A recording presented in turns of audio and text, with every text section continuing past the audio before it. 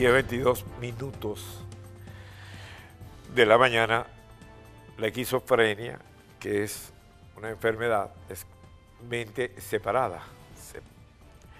Y mientras estamos viendo esta tragedia, para los canales de televisión venezolanos, nada pasa, todo transcurre igual.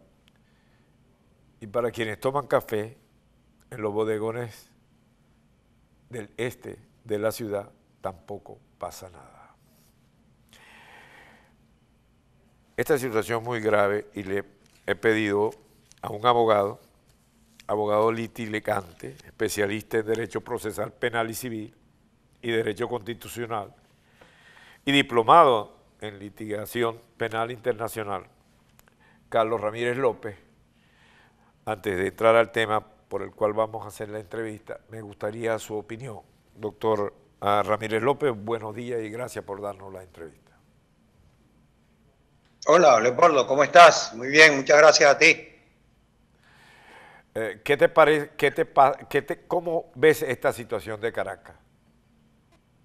Eso eh, es una cosa que contrasta con la, todo el discurso del régimen que dice tener una fuerza suficiente como para enfrentar invasiones, etcétera, y entonces resulta que no puede con unas bandas de, delincuentes. Que ellos mismos armaron, que ellos mismos armaron. Exacto, fíjate que en estos días, Leopoldo, eh, yo coloqué ahí un, uh, un video que sacó el hijo de José Vicente, en donde hizo un programa, ¿te acuerdas? aquellas misiones de paz que hicieron ellos. Sí, claro. Rodeados de esos malandros que, que, se iban a convertir en gente buena. Y ahí está el resultado. Esas actividades, junto con las actividades que viene realizando, que viene realizándose en las cárceles, sacando a los presos y, y convirtiéndolos en colectivos, está llevando a esto. Incontrolable.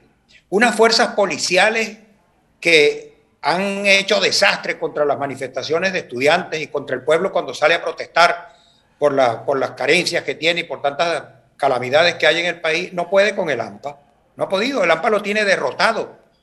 Hay quien está diciendo por allí incluso eh, eh, como grotescamente diciendo que la salida la tiene el AMPA, la salida del, problema venezolano la tiene el AMPA en las manos, porque están desatados, no tienen contención real el, ridículo máximo es que agarran, acaban de agarrar un vehículo de eso, una tanqueta, y la tienen ellos ahora utilizándola. Son muy guapos con los estudiantes, pero son muy cobardes con los malandros. Ahora, la situación de Venezuela va a requerir varios escenarios para poder resolverla, ¿no? O sea, para rescatar la democracia, para lograr el imperio de las leyes, para que siga y se respete la Constitución Nacional. Dentro de esos escenarios, en un momento determinado se pensó en una intervención extranjera, cosa que no, en el mundo de hoy y de este siglo que estamos viviendo, no es factible. Se pensó que por la vía democrática de una elección, sabemos que no puede haber una elección eh, libre y democrática en Venezuela porque simplemente Miraflores no tiene el apoyo popular para ganar una elección. Entonces se han hecho paliativos dentro de esto y hay una comisión negociadora eh, que está llevando a querer impulsar un diálogo para que ese diálogo garantice esas elecciones. Ese es un, primer escenario. Pero hay también un escenario internacional que es muy importante, al cual usted, mi querido amigo, se ha dedicado a estudiar. Escenario internacional jurídico. Me gustaría su reflexión sobre ese, ese escenario en el momento actual que estamos y en la próxima actuación que va a ser la Fiscalía de los Derechos Humanos.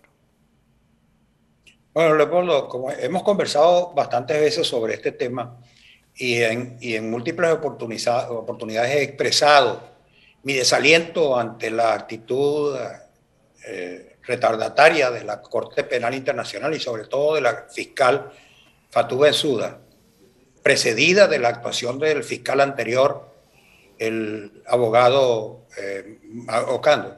Entonces, que han pasado entre ellos 18 años y no hicieron nada ante 27 denuncias que se le acumularon. Pero he tenido renovadas esperanzas con las últimas cosas que han venido ocurriendo. Las renovadas esperanzas vienen al caso debido a que en sus últimos tiempos, que estaba por irse eh, la señora Benzuda, eh, abrió un examen preliminar muy, muy, muy, muy lento, de un, de un avance muy lento, muy retardado, que lo abrió el 2 de febrero del 2018. Y a pocos días de irse y dejar ella el cargo, tres meses y medio después, dijo que lo había terminado y que había llegado a las conclusiones de que parecía razonable que existían crímenes de lesa humanidad en Venezuela y presentó su informe a la sala de cuestiones preliminares. Perdón, doctor, lo detengo ahí, voy a hacer el corte y continuamos. Con, presentó el informe ante la Corte y ahí nos quedamos. Hacemos una breve pausa y seguimos con ustedes.